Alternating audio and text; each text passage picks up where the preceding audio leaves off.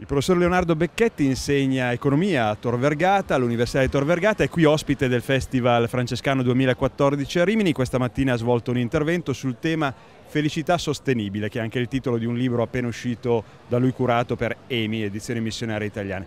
In economia esiste una felicità sostenibile? Ma assolutamente sì, e la si raggiunge eh, capendo quali sfide abbiamo davanti, le cause dei problemi e impegnandosi e lavorando per risolvere questi problemi. Eh, le sfide le conosciamo, abbiamo povertà, disoccupazione, diseguaglianze crescenti in alcune parti del mondo, abbiamo dissesto ambientale e anche crisi spirituale e di valori. Eh, le cause sono fondamentalmente per noi dell'economia civile eh, tre visioni anguste e, e limitanti della persona, dell'impresa e del valore. La persona che viene vista come homo economicus nella sola dimensione acquisitiva e materiale e non come eh, persona, come essere relazionale spirituale, l'impresa eh, che viene vista come massimizzatrice di profitto e non come luogo dove si può creare valore per un insieme più vasto di portatori di interesse e il valore che gli indicatori che devono tracciare la rotta, la direzione che vengono identificati nel PIL e non in quello stock che è la vera ricchezza delle nazioni di beni spirituali, economici, culturali e ambientali.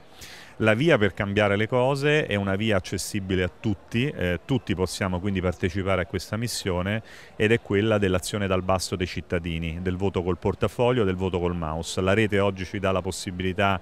inedita e nuova di poter costruire insieme nuove consapevolezze, nuove conoscenze e di poter usare strumenti di pressione molto importanti che vanno dalle campagne per la riforma della finanza a appunto il voto col portafoglio e il voto col mouse per spingere imprese e istituzioni a migliorare le cose. In particolare con il voto col portafoglio io intendo quella capacità, quella consapevolezza dei cittadini che ogni loro scelta di consumo e di risparmio è una scelta che può premiare in positivo quelle aziende che sono all'avanguardia nel creare valore economico in maniera socialmente e ambientalmente sostenibile ed è una scelta molto importante perché oggi le imprese sono sempre più attente a questo voto col portafoglio dei cittadini. Non è più una cosa di nicchia, ci sono settori dove ormai il voto col portafoglio è cresciuto molto come il settore della finanza etica, fondi etici ormai fanno quasi il 20% del mercato mondiale e anche dei prodotti verdi o dei prodotti etici che sono sempre più importanti anche per i nostri produttori per emergere da una concorrenza globale sulle commodity che ci schiaccia sul costo del lavoro e per portare dentro i prodotti un valore diverso.